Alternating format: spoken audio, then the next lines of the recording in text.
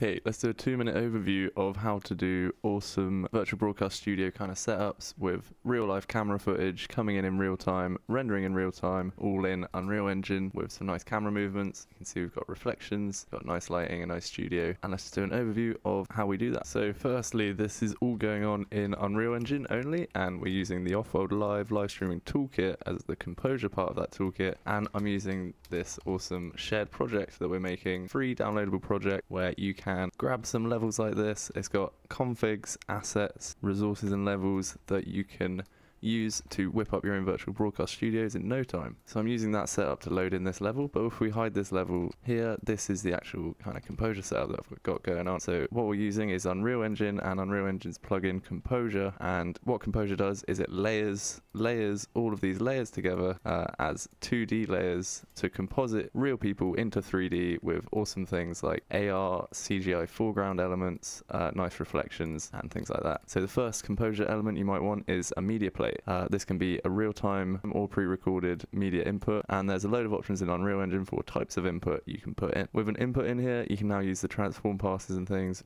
to do a nice key of the green screen and do a nice bit of despill and maybe some erode and other more detailed keying effects. Now this media plate has a nice alpha channel, we can do more stuff with that. I'm pumping this out to this in CG media plate and then I'm also pumping it to this second composure element which is using our our video plane placement uh, effect which basically skews and sizes the media plate in 3D space so that you can then do digital uh, digital camera shots. So you can keyframe an awesome bit of camera movement and your talent is going to stay in that place in 3D space.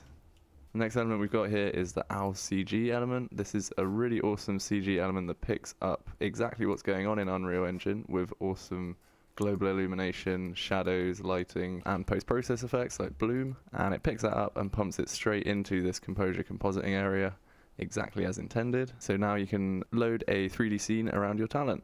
To make your media plate sit inside the 3D scene a bit better, uh, you can do what's called AR elements, which is augmented reality elements, which means you're then laying CG elements back over the talent or media plate. So this layer, if you show it, you can see that the talent is now behind the desk. This is essentially just a black and white image that says, here's what the foreground is, here's what the background is. So there's other awesome things that are just hooked up right off the bat in this uh, shared project. Uh, and all you need to do is just load in your own media, load up your own level, and you'll then be composited into an awesome virtual broadcast studio. We've got other awesome tricks like pumping this render target with the alpha channel directly back into the 3D space to give you your reflections and shadows. And we've also got this handy blueprint actor here that makes the video plane always face the camera wherever it is to make sure your talent doesn't look too 2D from any angle.